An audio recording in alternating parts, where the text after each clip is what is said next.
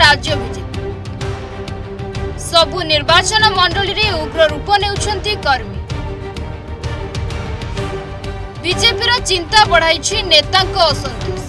ବିଦ୍ରୋହର ଭଉଁରୀରେ ଅଣନିଶ୍ୱାସୀ ହୋଇପଡ଼ିଛି ରାଜ୍ୟ ବିଜେପି। ପ୍ରାର୍ଥୀ ଘୋଷଣା ପରେ ସବୁ ନିର୍ବାଚନ ମଣ୍ଡଳୀରେ କର୍ମୀ ଓ ନେତାଙ୍କ ଅସନ୍ତୋଷ ଉଗ୍ର ରୂପ ରାଜ୍ୟ ନେତୃତ୍ୱଙ୍କ ମୁଣ୍ଡବଥା ବଢାଇ ଦେଇଛି। ବିଜେପିର ଲଙ୍କାଗଡ଼ରେ ନିଆଁ ଲଗାଇବାକୁ ବିରୋଧୀଙ୍କ ଲୋଡ଼ା ନାହିଁ।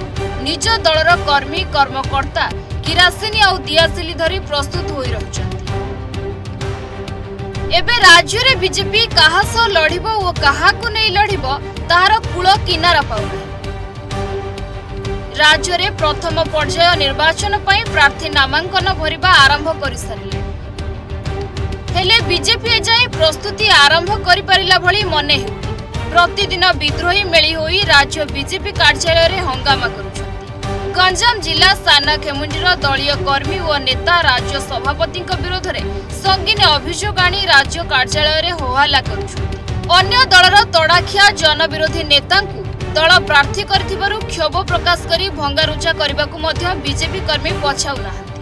ଦକ୍ଷତା ଅପେକ୍ଷା ଟଙ୍କା ଦେଲେ ଟିକେଟ ମିଳୁଛି ବୋଲି ଅଭିଯୋଗ କରି ବହୁ କର୍ମୀ ଓ ନେତା ରାଜ୍ୟ ସଭାପତି ମନମୋହନ ସାମଲ ଓ ତାଙ୍କ ସହଯୋଗୀଙ୍କୁ କାଠଗଡ଼ାକୁ ଟାଣିଛନ୍ତି। ବିଜେପି ଉଚିତ ପ୍ରାର୍ଥୀ ଦେଉନଥିବା ଅଭିଯୋଗରେ ରାଜ୍ୟ ବିଜେପି ପାର୍ଟି ଅଫିସ ଉଠୁଛି ପଡୁଛି। ଶତାଧିକ କର୍ମୀଙ୍କୁ ନେଇ ହୋହାଲ୍ଲା କରିଛନ୍ତି ଦଳୀୟ ନେତା।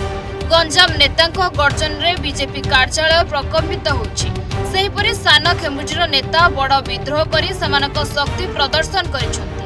ପଦ୍ମ ପାର୍ଟିର ପ୍ରାର୍ଥୀ ଘୋଷଣା ପରେ ବିଜେପି ବନାମ ବିଜେପି ଯୁଦ୍ଧ ଚାଲିଛି ନିର୍ବାଚନ ତାରିଖ ପାଖେଇ ଆସୁଥିବା ବେଳେ ବିଦ୍ରୋହୀଙ୍କ ହଙ୍ଗାମା ରାଜ୍ୟର ଶୀର୍ଷ ନେତୃତ୍ୱଙ୍କ ନିଦ ହଜାଇ ଦେଇଛି।